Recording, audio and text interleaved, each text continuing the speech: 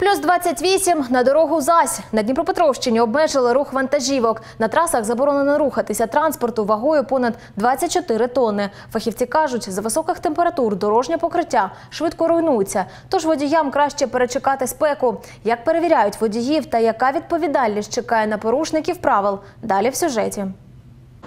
Чергують на в'їздах до Дніпра та перевіряють вагу вантажівок. Саме цим зараз зайняті інспектори Укртрансбезпеки та правоохоронці. А все через заборону на рух у день великовантажного транспорту, яку запровадили, щоб уберегти у спеку покриття на дорогах Дніпропетровщини. Працює такий патруль і на Солонянському посту поліції. Температура 28 градусів і вище, і рух транспортних засобів, повна маса яких більше 24 тонн або навантаження на віз 7 тонн на, одну, тоді рух забороняється в денний час доби.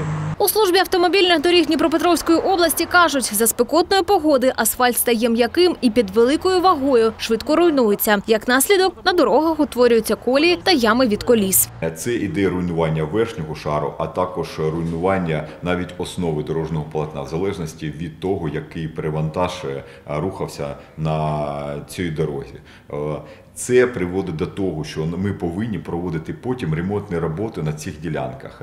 Роботні, е, ремонтні до- е, роботи вони дуже ускладнені, бо треба знімати верхній шар, навіть підсилювати основу дорожнього покриття. Після того проводити е, знов е, укладення дорожніх основ. Навантаженість автівок перевіряють по документах, бо з трьох мобільних вагових комплексів Укртрансбезпеки зараз працює лише один поблизу Кривого Рогу. Якщо інспектори виявляють перевантажені фури, їх переганяють на спеціальний майданчик, аби вони перечекали найспекотніші години. Зокрема, така стоянка поблизу Солонянського посту поліції розрахована на 10 вантажівок. Інспектори зупиняють чергову фуру за накладною вантаж 22 тонни. Водій автівки Володимир каже, з розумінням ставиться до таких перевірок.